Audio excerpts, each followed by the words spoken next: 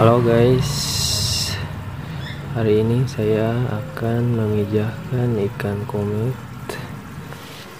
Dan saya ini sudah mempersiapkan Alat-alatnya Atau keperluannya. Yang pertama ada ember. Ember lumayan besar. Lalu ada aerator agar mereka dapat bernapas dengan leluasa. Lalu ada cenggono untuk menyimpan telur-telur mereka. Ecenggono, dua ecenggono dan ikan jantan.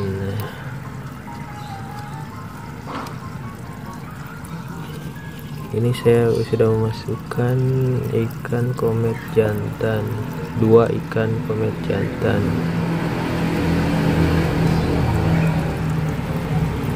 Indukan komet jantannya.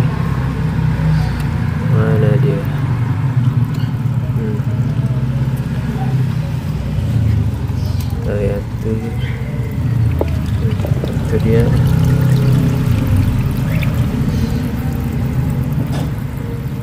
jadi di, di, di, di sini saya memakai dua induk jantan dan satu betina. Sekarang ayo kita pilih indukan betinanya guys. Di kolam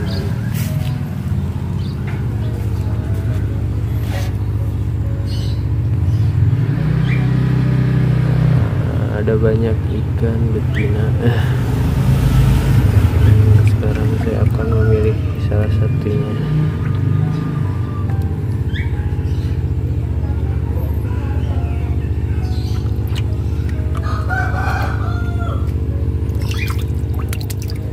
Ini betina. Nah, ini juga betina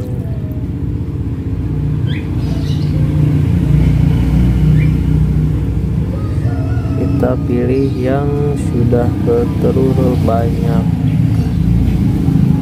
Ini ada ikan husky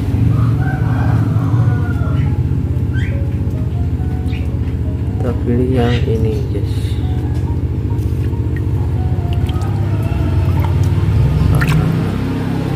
Ini sudah gendut banget. Cocok jadi indukan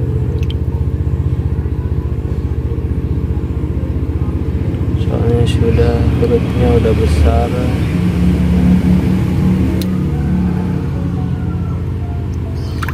Ayo kita pindah ke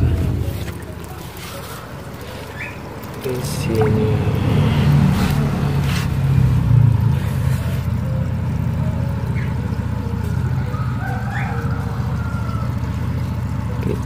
Kita tunggu sampai besok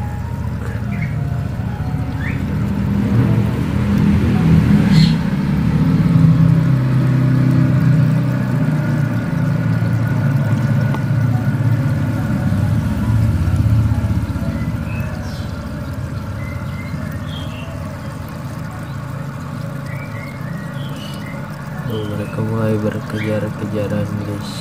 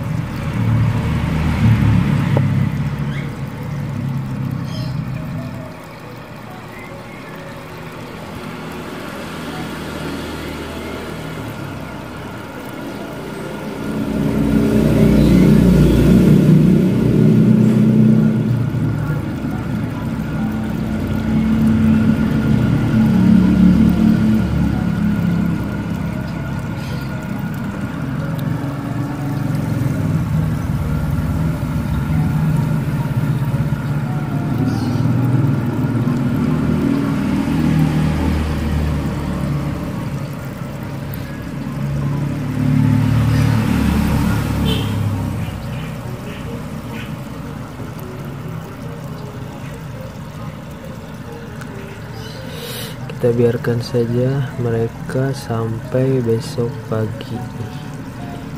Kita lihat apakah besok sudah mereka sudah bertelur atau belum. Kita simpan aeratornya di tengah. Guys sampai besok ya guys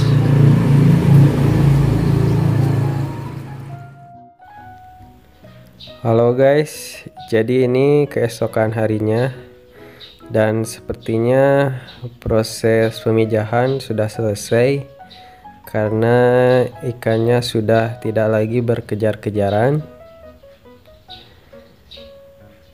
Dan lihat kita lihat uh, telurnya ada atau tidak ada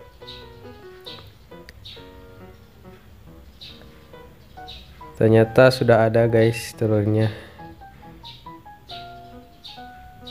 Berarti proses peminjahan memang benar-benar selesai. Ini kita pagi hari ya guys. Sekitar jam 8 dan kemarin kita memulai pemijahan sekitar jam sore ya jam 4 dan sekarang jam 8 sudah bertelur. Lihat guys telurnya lumayan banyak. Tuh yang kuning bulat itu ada telurnya guys.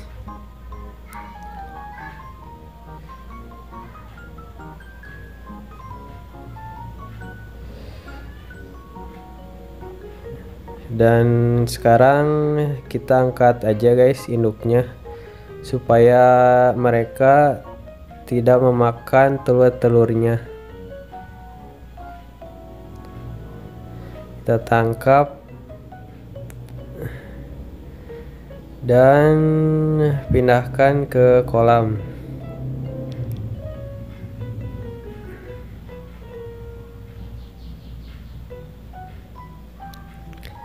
Tangkap lagi guys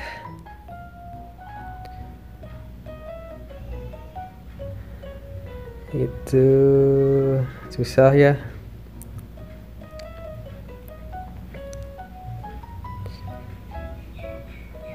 Ya dapat ini. Aduh lepas lagi. Ya dapat. Langsung kita pindahkan tinggal satu lagi guys. Mana dia?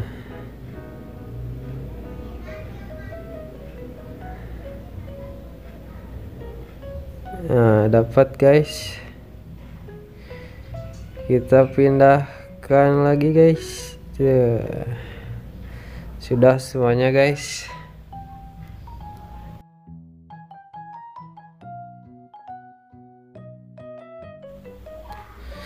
Lihat mereka berenang dengan bebas lagi guys.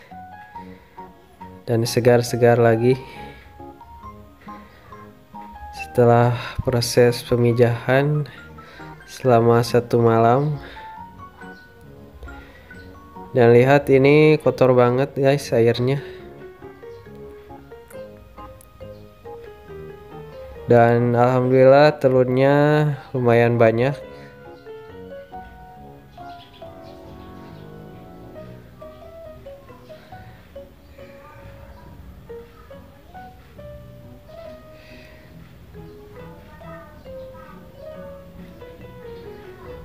dan sekarang sebaiknya kita ganti airnya sebagian ya. Karena ini kotor banget. Yos aduh susah banget ini. Agak berat ya guys. Kita buang airnya sebagian lalu kita ganti dengan air yang baru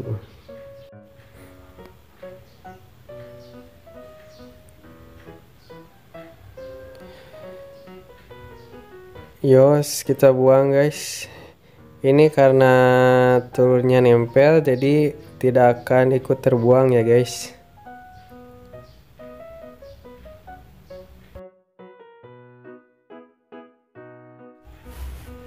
Jadi ini airnya sudah saya kuras. Dan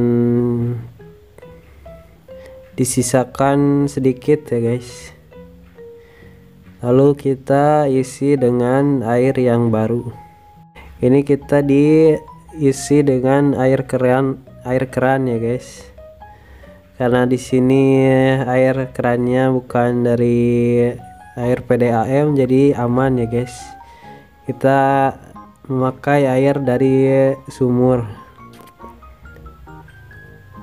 Jadi tidak perlu diendapkan juga sih kita isi airnya sekitar 10 sentian ya guys. Agar dia tidak terlalu tinggi dan tidak terlalu rendah. Karena ini disimpan di outdoor ya. Dia akan kena matahari juga akan kehujanan. Jadi isi dengan air yang secukupnya tidak kepanasan dan tidak meluap jika sedang hujan. Ini sifatnya fungsional ya. Dalam artian bahwa kalian bisa mengganti air ataupun juga tidak juga tidak apa-apa juga boleh. Tapi saya memilih untuk mengganti airnya agar eh, bersih aja gitu. Biar eh, umur airnya bertambah lama. Jadi kita nanti tidak perlu repot-repot untuk mengganti airnya ketika burayaknya udah agak besar. Jadi ini kita terus isi airnya sampai sekitar 10 sentian ya guys. Dan setelah itu kita biarkan telur-telurnya menetas. Biasanya telur-telur ini akan menetas dalam tiga hari ya. Jadi seperti itulah kira-kira proses memijahkan ikan komet. Sampai jumpa lagi di video selanjutnya